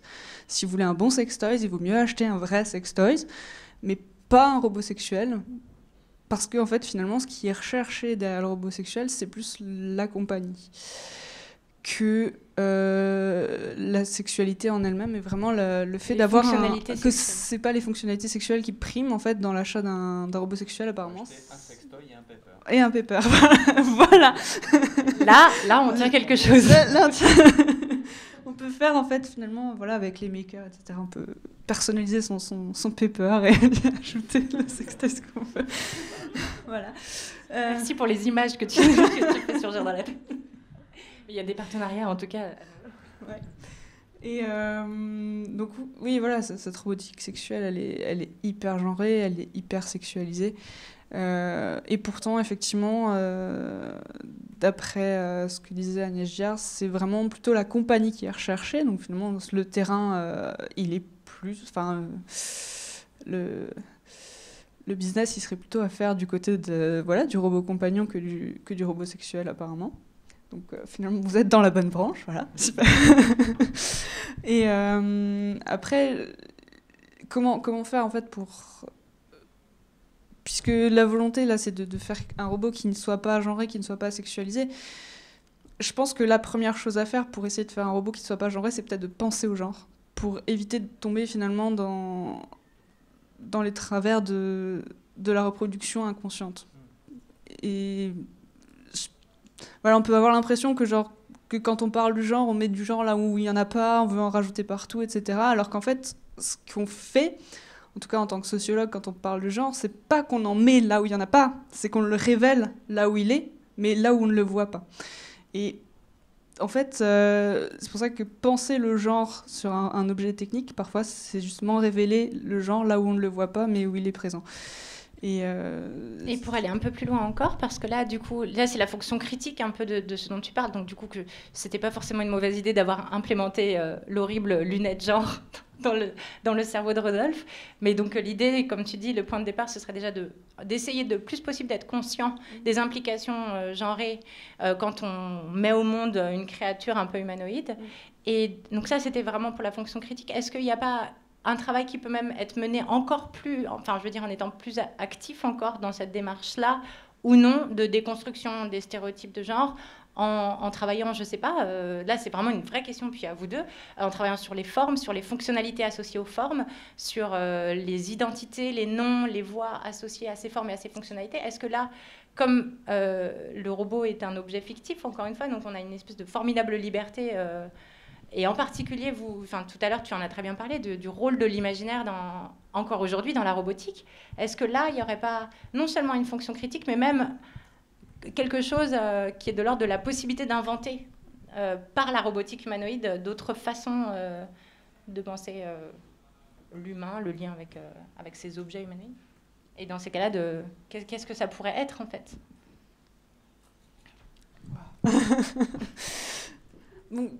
Je pense que le robot est un, outil formidable justement effectivement pour euh, repenser nos, relations soit aux formes humanoïdes ou soit à d'autres formes euh, d'interactivité peut-être aussi. Pas juste euh, ce que je veux dire c'est que pour repenser enfin faut, faut repenser la forme. Après ce qui pourrait être rigolo c'est de, de, de, de mettre sur paper peut-être une voix ultra masculine pour, pour pour créer finalement une, une rupture euh, et euh, enfin de jouer on pourrait jouer un petit peu comme ça avec les stéréotypes de genre et associer des stéréotypes de genre qui habituellement vont pas ensemble pour finalement le déconstruire etc euh, ça pourrait être une idée mais je, réagir. Qu'est-ce que ça qu'est-ce que ça évoque comme perspective? Sachant que ça correspond pas forcément vous à vos enjeux? Ouais nous, euh, ce qu'on redoute vraiment, c'est la, vallée de l'étrange. C'est le fait que les gens se retrouvent devant un objet qui ressemble à un être humain, mais qui ne se comporte pas comme un être humain. Et, plus il ressemble à l'être humain, plus on va être exigeant euh, sur euh, sa ressemblance à l'humain. Quand les gens voient Nao, bah, ils ne pensent pas que c'est un humain, donc s'il y a des trucs qu'il ne fait pas comme un être humain, ils lui en voudront pas. Sur Roméo, on avait mis des yeux qui bougent. Donc euh, on, pouvait regarder euh, Roméo dans les yeux et il vous suivait du regard. Et, euh, et donc c'est très sympa, quand ça marche, c'est très très bien. En revanche, dès que ce n'était pas très bien réglé et que les yeux n'étaient pas parfaitement alignés, on s'en apercevait pas tout de suite, mais on était très mal à l'aise devant, devant ça. Parce que le comportement du regard, alors bon, vous avez peut-être autour de vous des gens qui ont un œil qui ne marche pas très bien, ça met tout de suite très mal à l'aise. Et donc de la même façon, quand vous essayez de ressembler à un, être humain, mais que vous, sortez de certains critères canons, eh bien vous, perdez tout d'un coup. Et en faisant ce que tu dis, j'ai peur que les gens aient vraiment brutalement très très peur. Quoi. Dire mais pourquoi il a une voix comme ça quoi? Un être humain qui a vaguement cette forme-là, il n'aurait pas cette voix-là. Et, je pense qu'on n'est pas prêt encore à dire... Euh, voilà, et, encore aujourd'hui, quand vous croisez quelqu'un de transgenre qui a déjà qui a sa voix d'avant, euh, moi, je sais pas, voilà, ça fait toujours un drôle d'effet quand même. Donc, euh, encore une fois, les, mentalités vont évoluer et peut-être que dans 20 ans, en effet, on, pourra faire tous les mélanges, les gens se seront pas mal à l'aise vis-à-vis de ça. Aujourd'hui, nous, il faut faire avec les gens et la société telle qu'elle est. C'est vrai qu'on n'est pas là pour faire de la disruption, on n'est pas là pour changer on a tellement de choses à changer et à faire passer qu'on ne peut pas prendre ce genre de risque. Oui, parce que là, là en fait, tu étais en train de concevoir un peu une chimère, un peu. Qu'est-ce que ça pourrait être qu'une chimère genrée euh, qui en même temps est des traits humains? Mais est-ce qu'on peut, alors dans ces cas-là, peut-être être un peu moins euh, ambitieux, extravagant. Mais je repensais tout à l'heure au propos que je citais de, cette dame de Silicon Valley Robotics. Est-ce que, ne serait-ce que dans les fonctionnalités, la manière de concevoir les fonctionnalités, à qui c'est destiné et de quelle manière est-ce qu'elles prennent forme elle dénonçait le fait que la plupart des hôtesses d'accueil, bah, du coup, sont sont petites et puis on genre parce que plus petit c'est rassurant et, c'est rond et du coup c'est féminin. Est-ce que là il n'y a pas quelque chose à jouer? Je pose la question aux, deux. Plutôt du coup, non pas tant en termes de, de chimère, euh, donc d'association euh, improbable, euh, en termes de signification genrée qu'on a habituellement en nous, mais plutôt en termes de fonctionnalité, de rôle, parce qu'ils ils vont peut-être on, l'espère, euh, peut-être vous l'espérez, envahir nos, quotidiens. Envahir n'est pas un mot qu'on aime beaucoup utiliser. Oui, alors euh, peupler, habiter, habiter nos... Euh, bah, pendant que tu parlais, je pensais au, le plus beau robot humanoïde du monde aujourd'hui, c'est Asimo de Honda. Je ne sais pas si vous voyez la tête qu'il a. On dirait un cosmonaute en fait. Alors il a des, il a des segments un peu rectangulaires, il a un casque. Et donc, bah, c'est comme un cosmonaute. Quand vous voyez un cosmonaute, ça ne doit pas vous arriver tous les jours, mais quand on croise un cosmonaute, on ne sait pas si ce qu'il y a dedans, c'est un garçon ou une fille. Et, je ne sais pas si c'est la première question qu'on se pose en voyant un cosmonaute. Euh, donc euh, voilà, c'est un parti pris qui fait que bah, la forme humanoïde, elle est euh, de fait qu'il y a ce casque. Bon, bah voilà.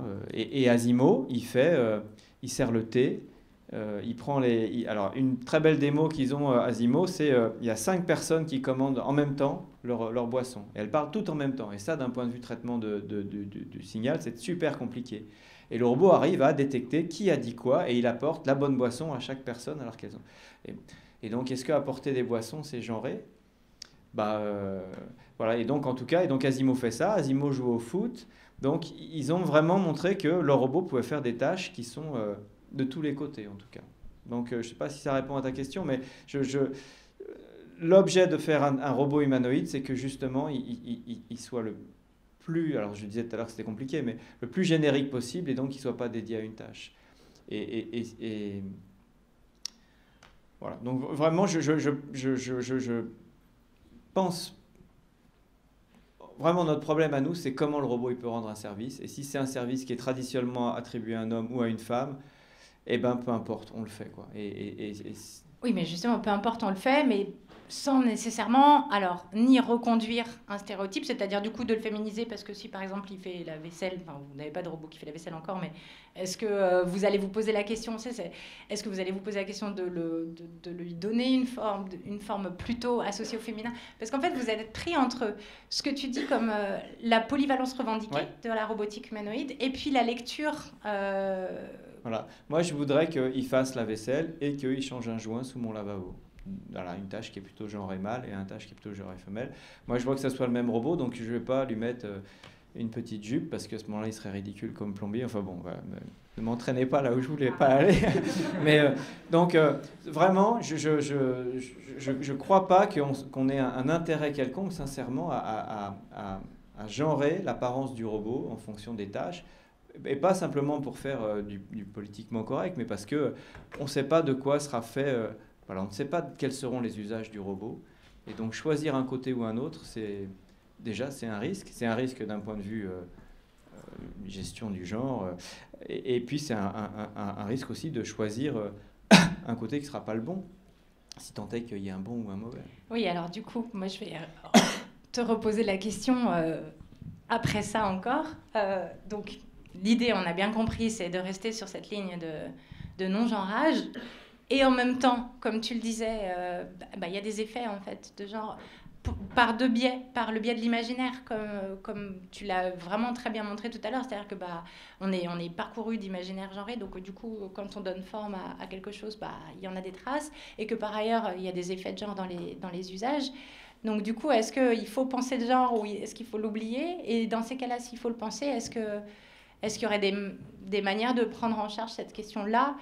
Est-ce qu'il y a un, un, enjeu social à cette question-là, du coup? Euh, Ou alors au contraire, est-ce qu'il faut se dire, non, surtout, euh, on part du principe que l'enjeu principal, c'est la fonctionnalité, euh, et, et, on essaye de ne pas se poser la question du genre du tout dans la conception même de ces objets humanoïdes? C'est une question complexe parce qu'elle elle, met euh, en scène à la fois les, les concepteurs des robots et les usagers. Et pour que les usagers ne genrent pas, alors les concepteurs peuvent aider, effectivement, que ce soit dans la forme du robot ou alors effectivement de, de mettre en place toute une une communication autour du fait que, voilà, tu disais euh, Pepper, quand on lui demande si c'est un garçon ou si c'est une fille, normalement il répond Je suis un robot. Pour justement, euh, finalement, beauté en touche. Pour dire la vérité. oui, voilà, parce qu'après, voilà, tu disais, il y a la, question de, culturellement, effectivement, au Japon, euh, puis bon, effectivement, il est un, robot. Euh, après, en fonction de ses activités, on peut lui donner, euh, on peut faire un peu ce qu'on veut. Ce qui est vrai, c'est que c'est intéressant pour Pepper. Pardon, excuse-moi, juste petite parenthèse. Euh, pour Pepper, il a, il est multigenre pour le coup. Voilà. Et c'est vrai que du coup, effectivement, on... Enfin, on voit bien, en fait, finalement, avec l'exemple de Pepper, la, toute, la construction culturelle qui est le genre. Hein, et, euh, donc voilà, est-ce que c'est comme dit, je pense que c'est essentiel, même si justement le, but à la fin c'est de faire un objet qui n'est que un robot et qui ne soit pas genré, c'est quand même essentiel de le penser pour éviter de tomber dans tout un tas de travers invisibles qu'on ne voit pas, enfin tout à fait inconscient. Euh, et euh, après, plus globalement, comme dit, c'est aussi effectivement c'est compliqué de savoir ce que l'usager va projeter sur le, sur le robot. Et là, du coup, c'est un travail plus global aussi de, de, auquel finalement le robot peut participer et peut, peut nous aider à, à, nous dégenrer, nous aussi, à nous sortir en fait un petit peu tout le temps de ce, système dans lequel on est constamment. Et, euh, après, la question, c'est comment, puisque bon, il y a toute la question des contraintes techniques. Euh, Pepper, il a cette forme aussi pour des raisons techniques. Voilà, il a, il a des roues, il y a les batteries, etc. Euh, donc finalement, en fait, c'est une question qui est hyper complexe. J'ai pas de réponse de toute façon, parce que euh, il y a plein de, choses qui se croisent entre l'idéal et, et la réalité technique aussi posée par par la complexité de, de la robotique. Donc, euh. Ce qui est intéressant, c'est que là, tu, tu, tu, viens de dire que euh, ces objets très particuliers que sont les robots humanoïdes, et encore plus particuliers pour ce positionnement-là très précis, qui est celui euh, que tu décrivais et qui est celui de SoftBank, qui est de la robotique humanoïde qui s'efforce de ne pas être genré, c'est que tu dis qu'en retour, il y a peut-être un espèce de rôle social de ces, de ces formes compagnonnes et compagnons euh, pour nous à repenser les rapports qu'on a les uns aux autres euh, en tant qu'humains genrés. C'est qu'éventuellement même ça pourrait être le support pour une réflexion, euh, bon là qui dépasse le, cadre peut-être d'une entreprise de robotique, mais mais en tout cas, ce que tu dis, c'est que ça, peut, être le point de départ d'une réflexion en retour sur nos rapports interactifs entre humains. Euh, et, du coup, pour conclure, parce qu'on va devoir euh, s'arrêter euh, là, vite, mais ceci dit, après, on, aura tout le temps pour, continuer d'échanger au bar avec, vous, deux, et puis avec Nao aussi, d'ailleurs, qui sera là avec nous. juste pour finir, du coup, est-ce que, est que Rodolphe, est-ce que, est que, je sais pas, c'est peut-être une question pas piège pour toi, mais pour moi, ou pour Ludivine, mais est-ce que du coup, tout ce qu'on s'est dit là ce soir, est-ce que est-ce que ça ne peut pas donner forme euh, éventuellement, parce que tu disais qu'il n'y a pas forcément de, consultation après régulière des utilisateurs et utilisatrices, est-ce qu'il n'y a pas quelque chose à penser là pour vous, euh, qui avait quand même finalement peut-être une certaine responsabilité et puis des, potentiels en fait pour développer d'autres formes d'interaction euh, humanoïdes et humains? Est-ce qu'il n'y aurait pas quelque chose à est-ce qu'il n'y a pas quelque chose qui se joue là dans euh, des processus peut-être de consultation régulière, dans, euh, dans l'usage que font euh, les humains de ces, de ces robots humanoïdes, et à voir qu'est-ce qui se reconduit, qu'est-ce qui ne se reconduit pas, qu'est-ce qu'il est possible de, de faire autrement par rapport à ces questions-là de, Alors, bon, des consultations régulières, on en fait, on vérifie quand même l'usage et, le ressenti des gens qui utilisent, que, les gens utilisent quand ils utilisent nos robots. on en fait, mais c'est vrai que on a tellement de, problèmes techniques euh, euh, que, cette question-là est vraiment, euh, je, pense, assez négligée, on va dire.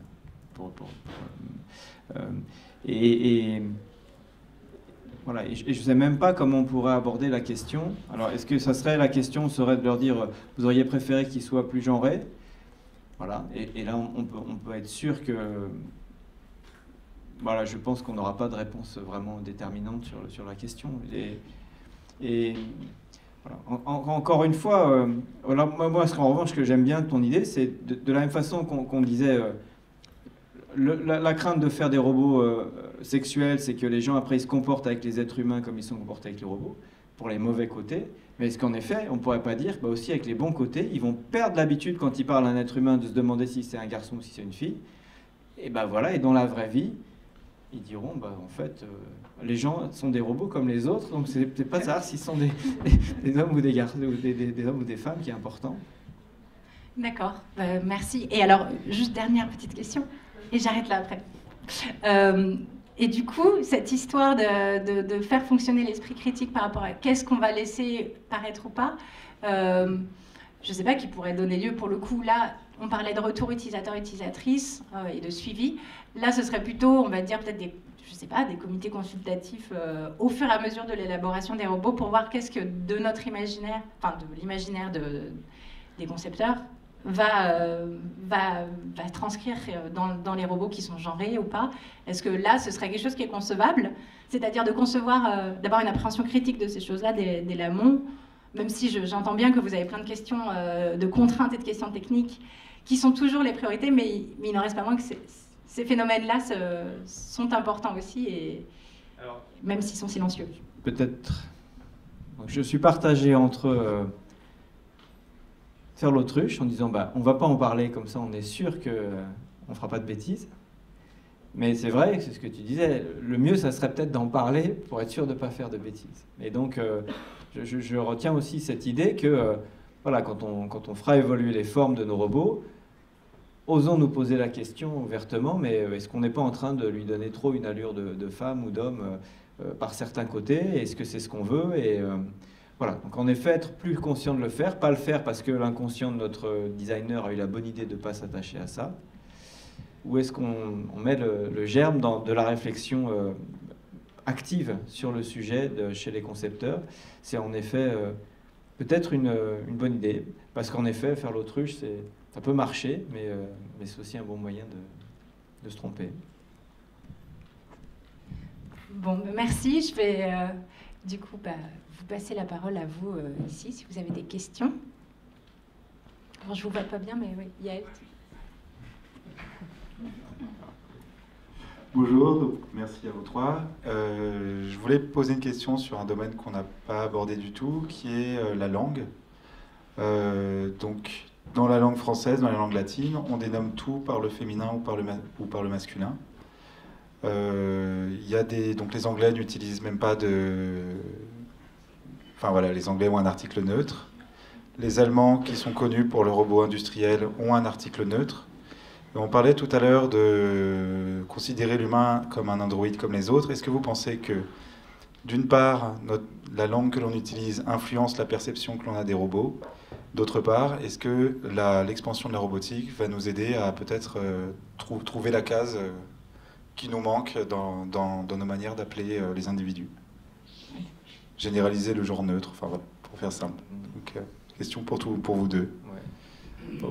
moi, je dirais, nous on dit toujours le robot parce que le robot c'est masculin le robot. Donc après, moi j'ai tendance, c'est vrai, à, quand je parle de Pepper, à dire elle assez vite. Mais après, il y a aussi le fait que euh, quand vous avez un chat, voilà, vous dites rarement. Euh, en tout cas, moi j'ai un chat qui a une chatte, mais je dis toujours le chat. Donc euh, c'est peut-être très mal. Mais je veux dire par là que je ne sais pas si on est obligé d'aller vers, un, vers, un, vers un, neutre pour, pour s'affranchir de ça. Moi, c'est, mais bon, peut-être c'est une question linguistique, sociologique posée à un ingénieur. Pour la question de la, de la langue, euh, alors j'avais posé la question à des, des, informaticiens, roboticiens qui travaillent du coup avec des robots, et euh, l'un d'entre eux qui est italien me disait, bon en, italien la problématique se pose aussi, il n'y a pas de neutre. et dans son laboratoire, il parlait à la fois français, à la fois anglais. Il disait quand on est en français, on dit le robot, on, dit qu'il est masculin. enfin, du coup, par défaut, en fait, c'est un, un, garçon. C'était d'autant plus un garçon que euh, ils ont fait une autre version de ce robot qui était elle clairement féminisée, donc ça confirmait le fait que c'était un garçon, mais le langage faisait que par défaut c'était déjà un garçon. Euh, mais ce qui est intéressant, c'est que dans un autre laboratoire où, euh, où j'ai travaillé, comme c'est des ingénieurs et des chercheurs qui sont un petit peu de tous les pays du monde, la langue majoritairement parlée, c'est l'anglais. Et l'anglais laisse effectivement la possibilité d'un neutre avec ce it. Et pourtant, une bonne partie du temps, je n'ai pas euh, fait des petits traits à chaque fois qu'il l'utilisait, mais une bonne partie du temps, quand il parlait du robot, il disait he. Ils n'utilisaient pas le it. Il, le masculinisaient quand même, en fait. Alors, ce que j'avais demandé. Euh, il y avait. Euh, parfois, il y avait un robot humanoïde et il y avait un robot aussi qui est un hexapode. Donc, c'est un robot avec huit.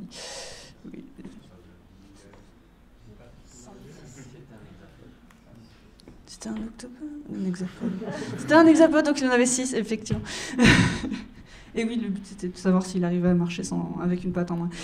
Euh, donc parfois il n'en avait que cinq. Euh, il y avait un robot humanoïde et un robot euh, donc hexapode. et ce qui était pour les deux, c'est ça qui est marrant. Alors que l'hexapode il ressemblait absolument pas à un humain, mais on n'utilisait quand même pas le, hit pour en parler. Par défaut, c'était euh, majoritairement euh, un he aussi. Donc, euh,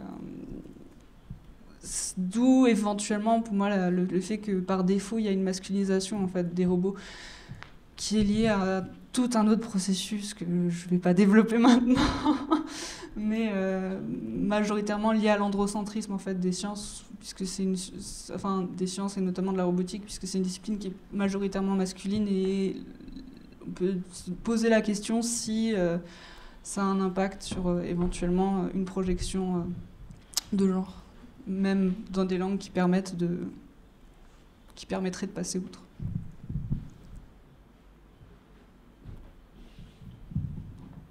Euh, merci à tous les trois aussi. Euh, sur la question de la neutralisation du genre aussi, j'ai l'impression effectivement que le fait de se dire on va pas mettre d'attributs, euh, enfin il y a la question du langage qui nous pose problème en français, mais aussi, mais aussi au-delà de ça, le fait de se dire on va pas mettre d'attributs genrés du tout et pas une solution parce que pour nous le neutre, comme, comme, tu, comme tu as dit, est, effectivement masculin. Enfin, tout à l'heure, il y a l'exemple du, euh, du cosmonaute, enfin du robot avec une tête de cosmonaute qui a été donné. Et effectivement, je pense qu'on ne se demande pas si c'est un garçon ou une fille parce qu'on se dit que c'est un garçon. Enfin, on part du principe que c'est un garçon.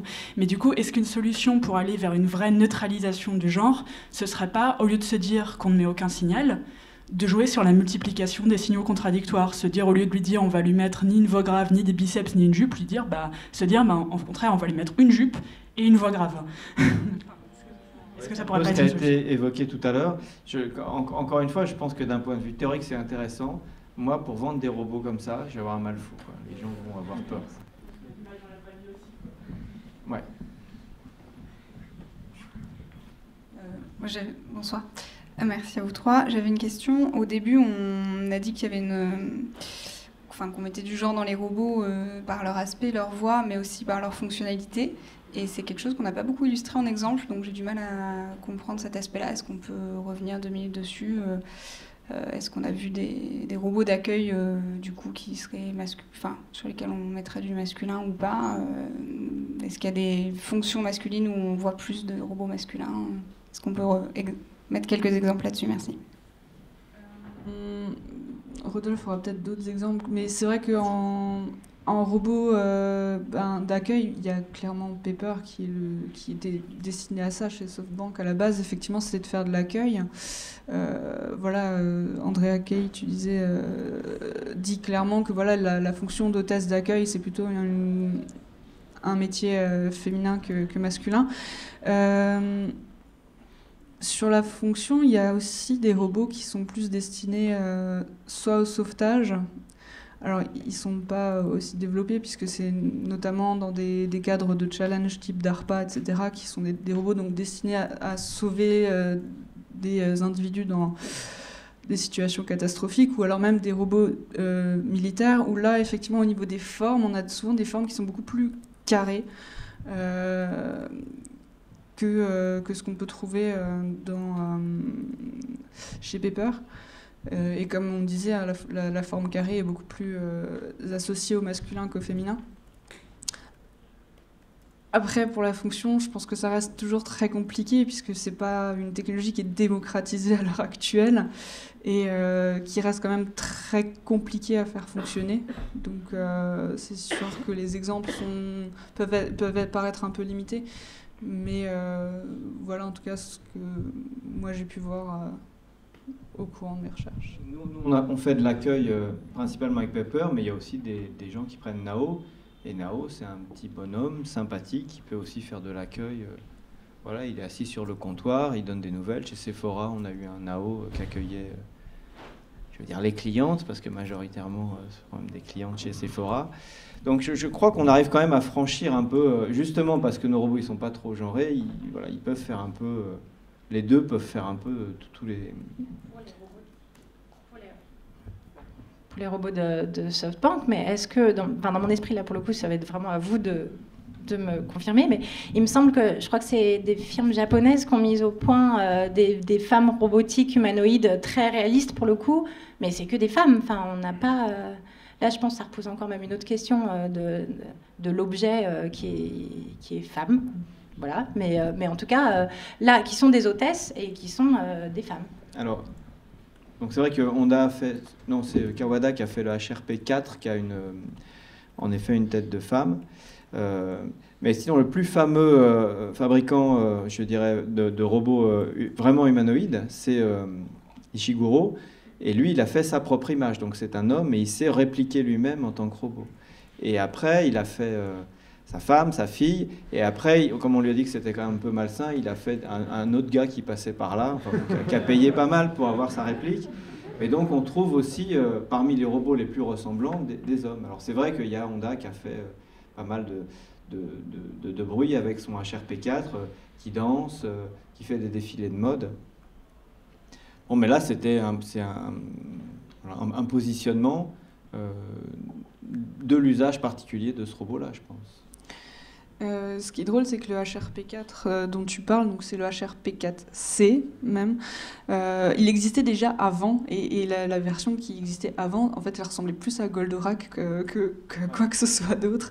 Et, et, on a entendu parler du HRP4 qu'à partir du moment où il y a eu la version HRP4C, enfin, du moins dans, dans le public, enfin, dans les médias, alors que la technologie existait déjà auparavant avec le HRP2 et puis HRP4. Donc justement, c'était ce robot qui, euh, par défaut, était masculin euh, par la langue, et puis le fait qu'il y ait HRP4C qui soit sorti, ça a confirmé la masculinisation de HRP4. Et au niveau du coup des fonctionnalités de chacun des robots qui ont la même technologie, euh, est-ce que HRP4 fait des défilés de mode ou est-ce que c'est réservé à HRP4C Est-ce que vous savez ou est-ce que...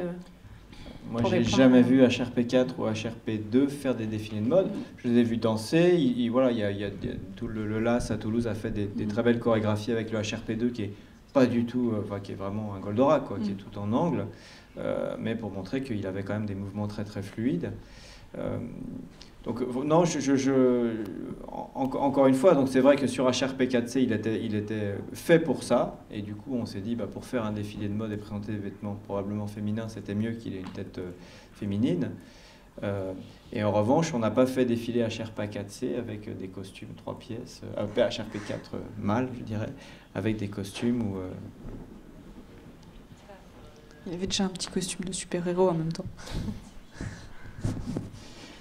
Euh, je, vous avoue que je suis en, réalité très gêné par ce débat et, euh, plutôt choqué par certains propos.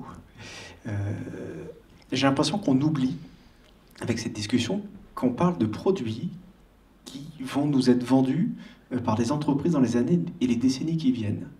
Si je prends l'exemple de Nao, Nao, c'est un, robot qui est tout mignon, avec des formes euh, arrondies, toutes douces, un peu carrées, un peu musclées, on est d'accord. Ce Nao, euh, on, va pouvoir discuter avec lui, et il, s'est présenté lui-même, il est connecté au Wi-Fi. Donc je pense que c'est typiquement une machine euh, qu'on va vouloir nous vendre, nous, en tant que particulier, pour qu'on ait ça chez nous.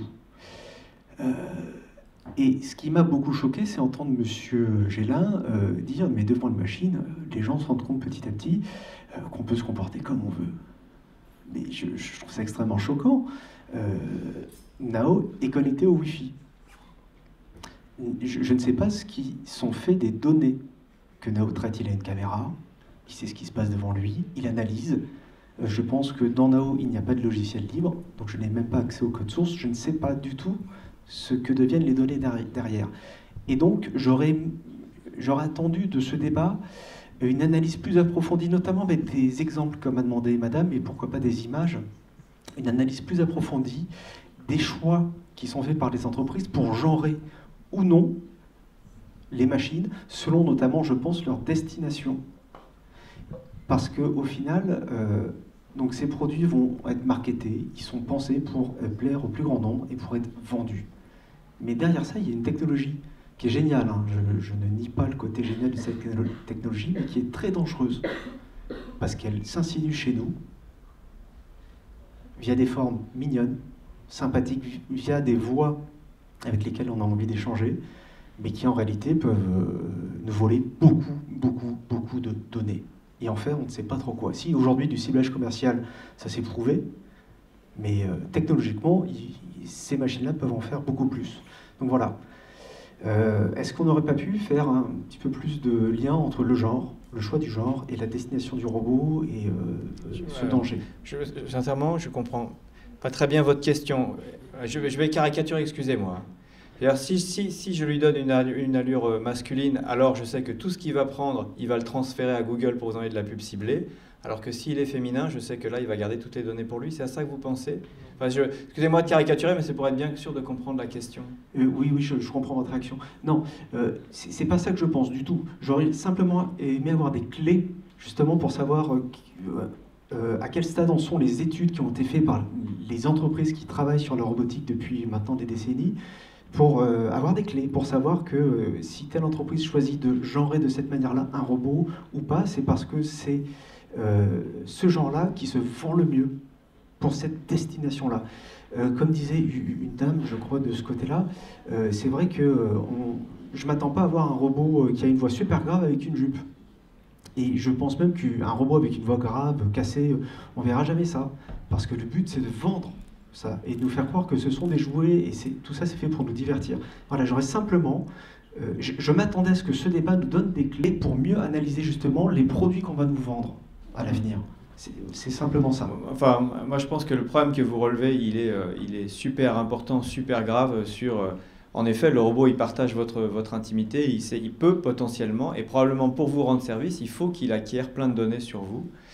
Euh, pour moi, c'est un peu perpendiculaire, enfin indépendant de la question du genre.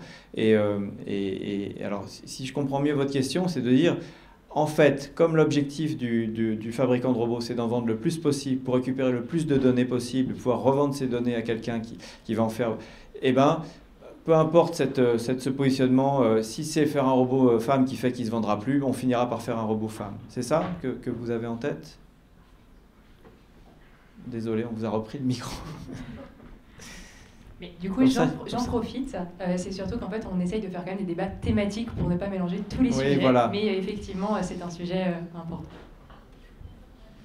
Non, personnellement, je n'ai pas d'a priori, je n'ai pas de, de, de, vision très précise de, de, ce à quoi je m'attends au niveau du genre. C'est simplement en, réalité, ce n'était pas vraiment une question, j'en suis désolé. Ah, c'est pour ça que j'ai du mal à trouver une réponse. C'était une remarque. C'est simplement, pour moi, alors c'est très subjectif, euh, j'ai vraiment ce sentiment euh, d'un thème qui n'a pas été approfondi, voilà, qui n'a pas été analysé euh, jusqu'au bout. On est vraiment resté sur l'aspect physique du robot, mais pas trop le lien justement entre cet aspect physique et sa destination finale mais euh, là, enfin, après, on peut, on peut taxer Rodolphe de beaucoup de malhonnêteté, mais là, on a essayé de, comprendre comment est-ce que dans une entreprise comme SoftBank aujourd'hui, il y a peu d'entreprises de robotique humanoïde en France, il n'y en a pas mille, il n'y en a pas dix. Bon, là, on a essayé de voir comment est-ce que le genre était perçu, était travaillé, ou inconsciemment ou consciemment évidemment, de toute évidence plutôt inconsciemment, dans la conception de ces objets.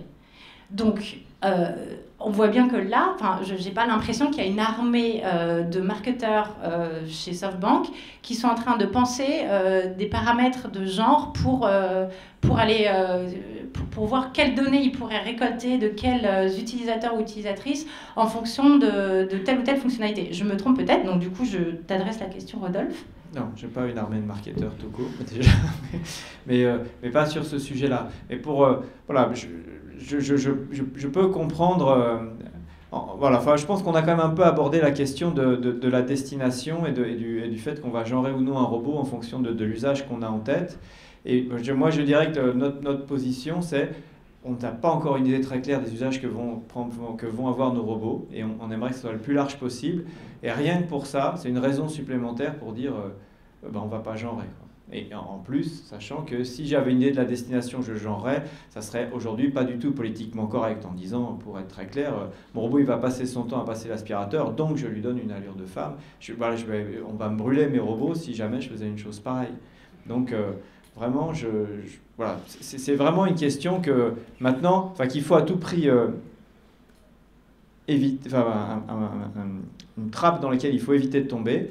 Et en fait, merci pour ce débat. Au lieu d'éviter de tomber dedans inconsciemment, en effet, on va essayer d'éviter euh, tout à fait consciemment de tomber dedans.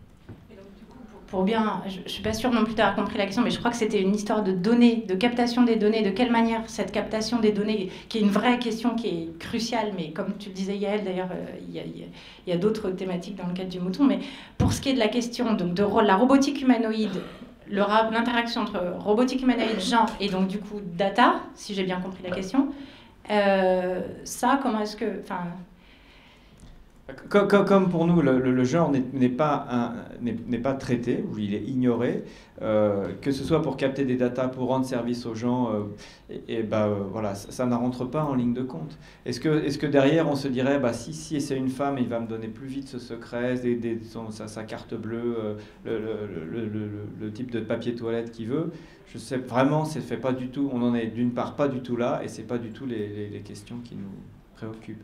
Peut-être c'est un tort, hein, ça devrait, mais je pense que voilà, je, ne crois pas que ça soit une issue, comme on dit en, anglais. Je crois pas que ça soit aujourd'hui en tout cas un problème. Est-ce qu'il y aurait peut-être on une... parlera plus longtemps si je suis pas à la hauteur de Dernière question?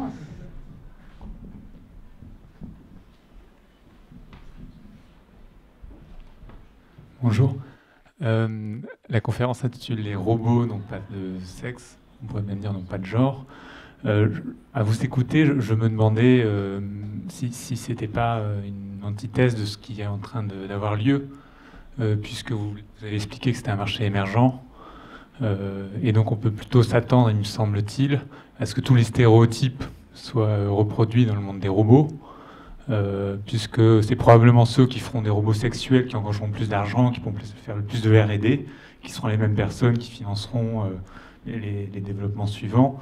Quand même, ce ne seraient pas eux, ils seraient quand même soumis euh, à, des questions du marché, à des forces du marché qui sont les mêmes qu'on a eues avant pour le web. Voilà.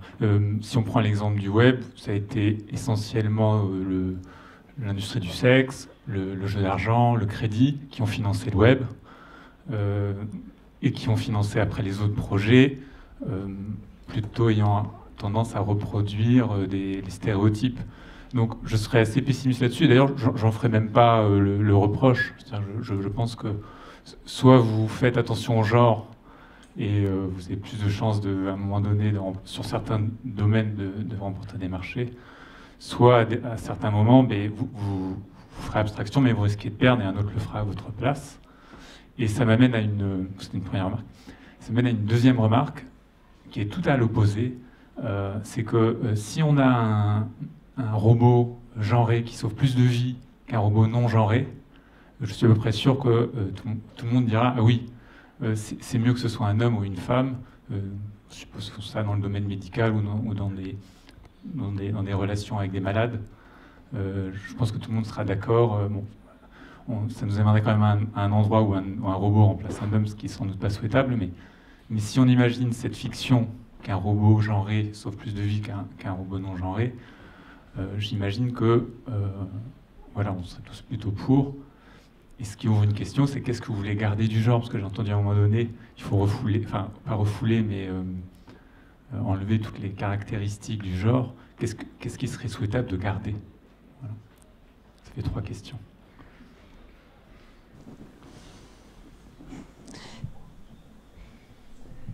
Euh,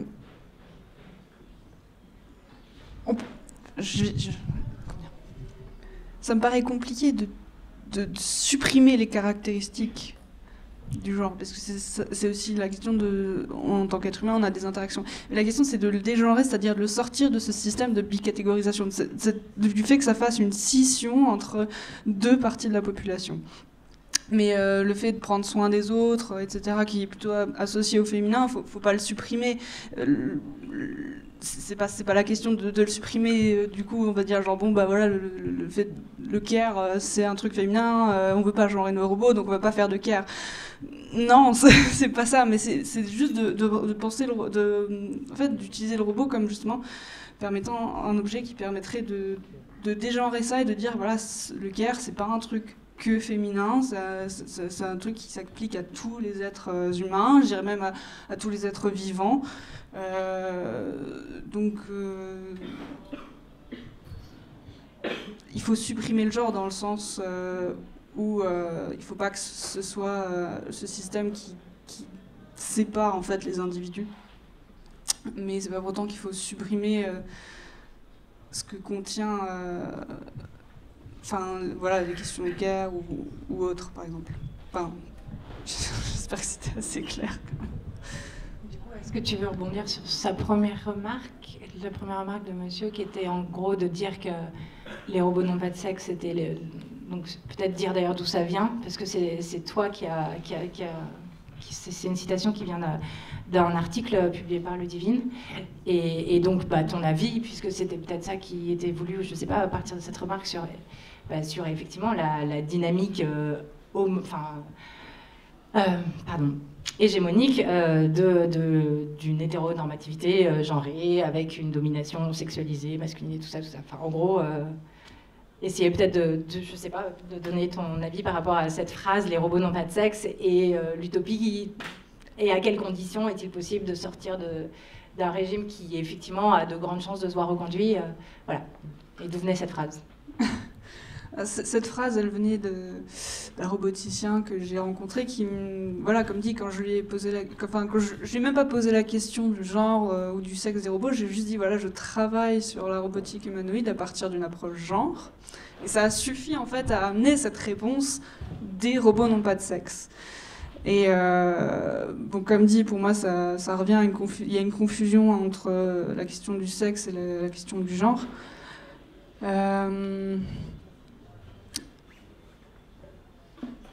Les robots n'ont pas de sexe, oui, ce serait bien aussi que les robots n'aient pas de genre. Parce que ce dont, effectivement, à l'heure actuelle, je ne suis pas sûre. Euh, et euh, j'ai oublié. Euh, eh ben, écoutez, vu, que, vu, que l'heure tourne, j'en profite pour reprendre la parole. Et bah, déjà, je trouve merci beaucoup pour ce débat.